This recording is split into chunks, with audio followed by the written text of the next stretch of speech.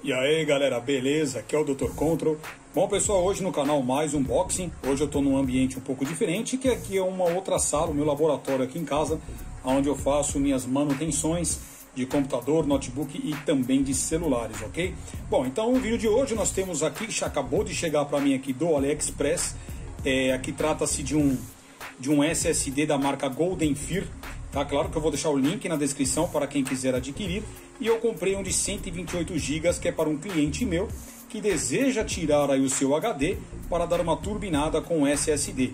E eu é, falei para ele que era melhor comprar na China até por uma questão de preço, ok?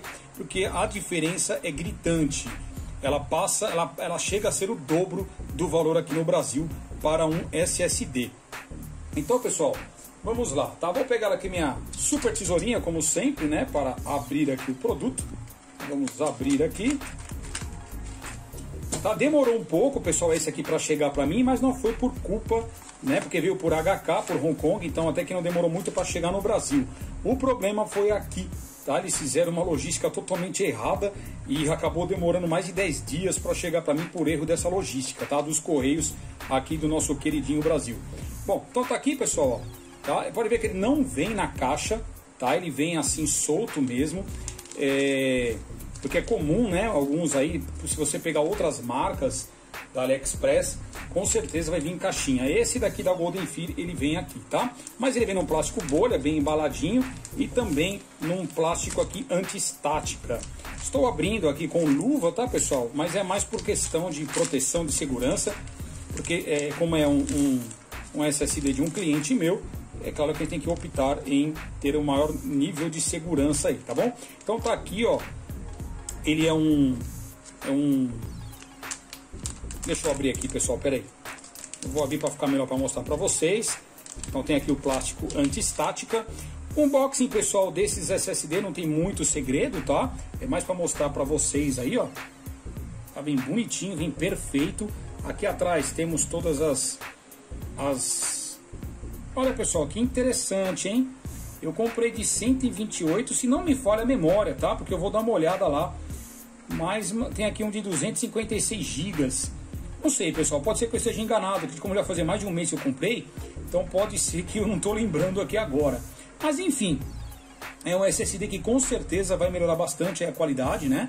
O desempenho da máquina.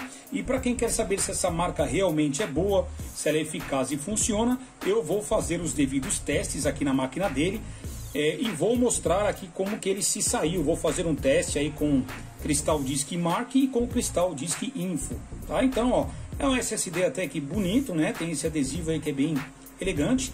Não é dos melhores, dos mais bonitos, mas né? O que importa é o seu desempenho, a sua desenvoltura aí na sua, na sua máquina, tá pessoal? Então tá aqui, ó, é bem interessante e logo mais eu volto aí para fazer os devidos testes, ok? Então por enquanto vou ficando por aqui, já volto. Então aqui pessoal, já estou com a máquina né, do cliente, é, se trata de uma Dell aqui, uma Optiplex. Ela já vem com um HD, mas é claro que eu vou tirar, o HD inclusive está aqui, né?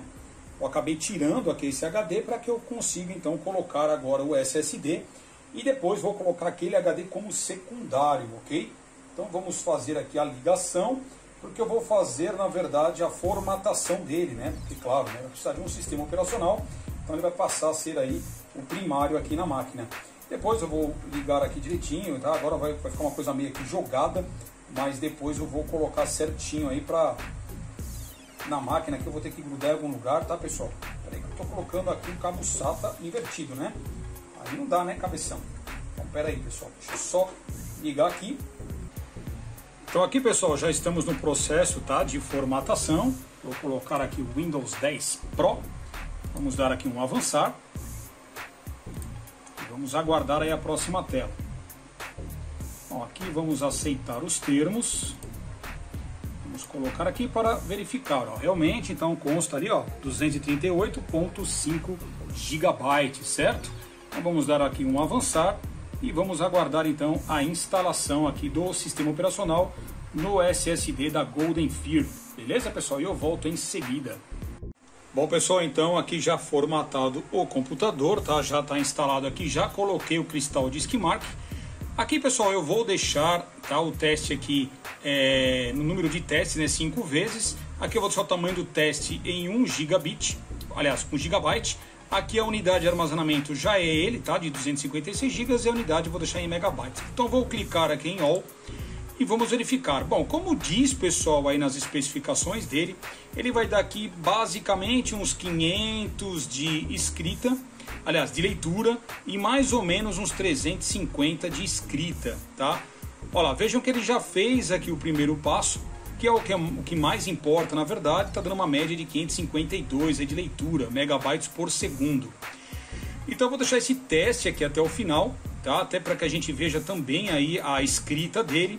Aqui no, é, eu já deixei também aqui já o, o cristal Disk Info, onde diz que ele tem então os 256 GB. Vejam que aqui ele foi ligado somente aí nove vezes, algumas vezes eu já liguei aqui para testes e também o fabricante. Tá? Então duas horas aí ligado e tá tudo ok com ele, tá? Ele tá aí 100% saudável. A temperatura é meia esquisita estar em 40 graus, tá? Geralmente era para ser um pouco menor, mas isso pode ser algum tipo de bug aqui do programa que não conseguiu identificar, tá certo, pessoal? Então eu vou aguardar aqui é, até acabar todo esse processo. Eu então coloquei também um HD secundário de, de 1 tera, vejam, vou mostrar aqui para vocês, ainda tá tudo uma gambiarra só.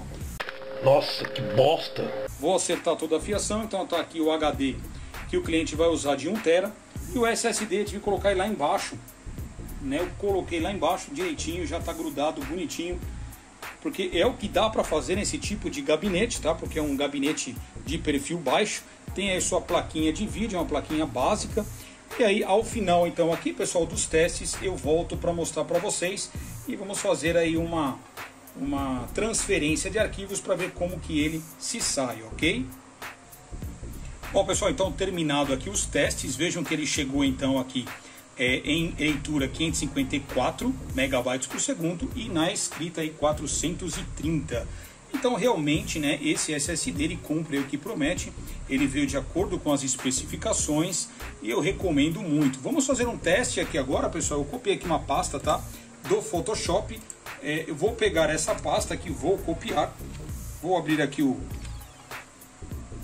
as minhas unidades de disco, tá? E aqui no computador eu vou entrar aqui no HD já de 1 tera e já vamos fazer aí a colagem então do arquivo, ok? Vamos ver qual vai ser a taxa de transferência dele, ó. Olha veja que está variando ali, ó. 100, 110 megabytes por segundo, ó. Então a taxa de transferência também está aí bem adequada ao a, tra a transferência, né, do SSD para o HD interno aqui, ó. E já foi copiado. Tá certo, pessoal? Então, desculpa aí só não estar focando muito bem, mas então, pessoal, tá aqui, ó, a prova de que então esse SSD ele tem uma boa qualidade e cumpre o que promete. Okay? Bom pessoal, então tá aí mais uma dica do canal, espero que vocês tenham gostado. Vocês viram que realmente o SSD é bom. Mais uma vez eu lembro que vou deixar o link na descrição para quem quiser adquirir. E vou ficando por aqui. Então, pessoal, é, não esqueçam aí, tá, de dar aquela força pro canal, de curtir, favoritar, também de se inscrever aí para quem ainda não é inscrito. Qualquer dúvida ou sugestão, deixem nos comentários que a gente troca uma ideia bem bacana. Então fica aí meu forte abraço e até a próxima. Valeu!